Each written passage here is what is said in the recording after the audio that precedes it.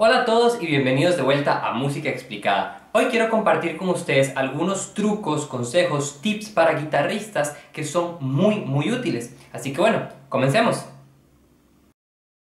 El primer truco que les quiero compartir es el de el grafito en la cejilla o en el hueso o como ustedes le llamen, a la parte superior por donde pasan las cuerdas. ¿A cuántos de ustedes les ha pasado que intentan afinar la guitarra, giran y giran la clavija y no pasa nada? Y de repente escuchan un ting o peor aún, sienten donde se revienta la cuerda. Bueno, eso pasa porque la cejilla de nuestra guitarra no está lo suficientemente lubricada. Entonces a la hora que nosotros giramos la cuerda hay mucha fricción entre la cejilla y la cuerda, lo cual crea tensión entre la clavija y el hueso. Y eso puede causar que nuestras cuerdas se revienten.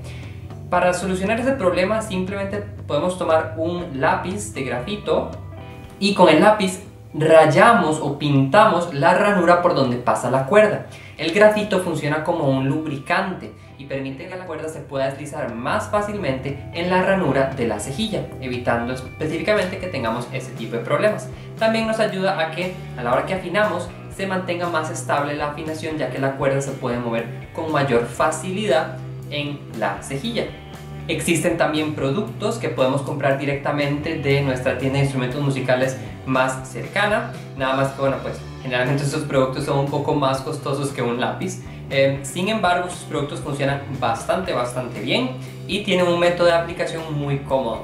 Este siguiente consejo tal vez algunos de ustedes ya lo conocen y es un consejo que es solamente para situaciones de emergencia críticas, diría yo y es cuando olvidamos nuestro capo, nuestro capodastro, nuestra cejilla, como ustedes le llamen.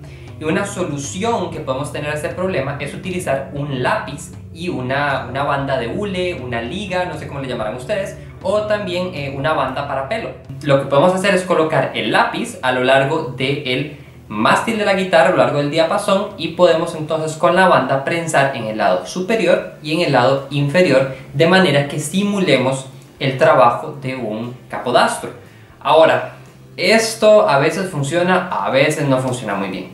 Por ejemplo, yo lo probé en las guitarras que tengo aquí en la casa y generalmente alguna cuerda que no suena muy bien. Por eso les digo que es más una cosa en caso de emergencia extrema. Siguiente truco, pasar el cable de nuestra guitarra por detrás de la faja. Probablemente ya muchos de ustedes conocen este truco, pero para los que no, aquí les va. Cuando estamos tocando de pie siempre existe el riesgo de majar el cable de la guitarra y desconectarlo por accidente.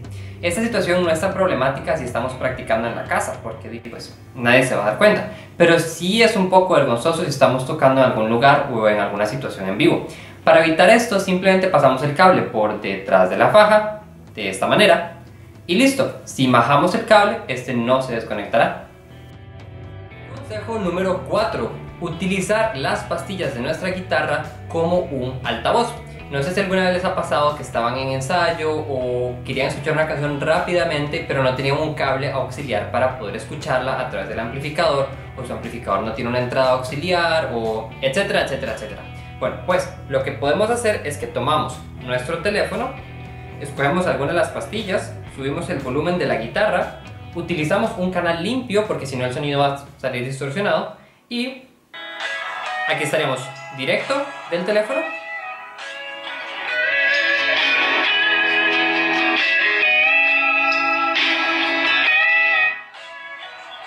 Pero bueno, ese es exactamente el consejo y es bastante útil.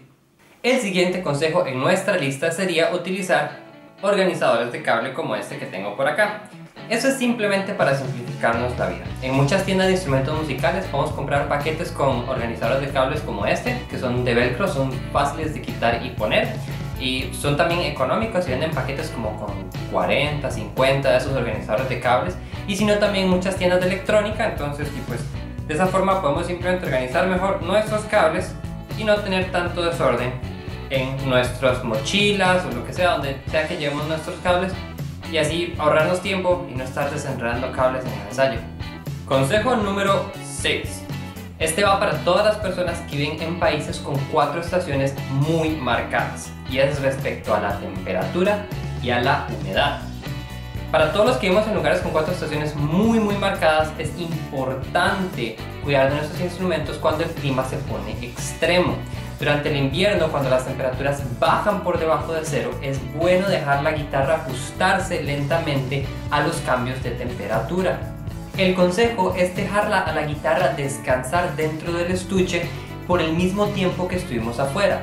Pensemos por ejemplo que es invierno y que afuera hay una temperatura de menos 10 grados y estuvimos caminando por tal vez unos 10 a 15 minutos. Entonces a la hora que lleguemos al lugar donde tenemos que usar la guitarra, es mejor dejar la guitarra descansar ahí por unos 10-15 minutos para que otra vez se ajuste lentamente a la temperatura que hay dentro de la habitación, que probablemente tenga calefacción y esté a 20 grados centígrados. Es una diferencia de 30 grados.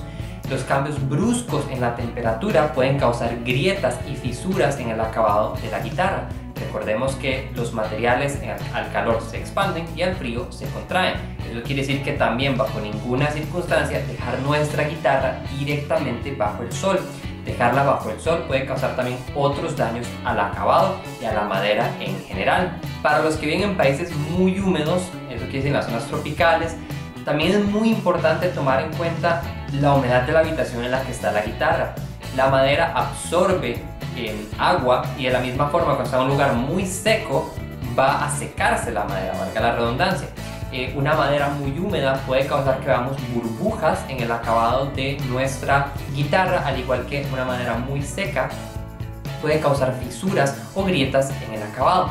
Entonces siempre es importante tener cuidado de dónde tenemos nuestro instrumento, si está muy húmedo, si está muy seco y tratar de mantenerlo en un lugar que se mantenga una humedad media, por decirlo de alguna manera. Y el último consejo, que más que un consejo, lo que quería hacer con esto es como romper el mito, o no sé si es la palabra correcta, romper el mito. Desmentir, desmentir el mito de que a las guitarras tenemos que desafinarlas una vez que las terminamos de usar. Me he topado con este comentario bastante en redes sociales y es que las personas consideran que una vez que termina su sesión de práctica, algunas personas consideran deberían desafinar la guitarra un tono, medio tono, cosas así. Eso no es cierto. La guitarra es un instrumento que está diseñado para soportar la tensión de las cuerdas.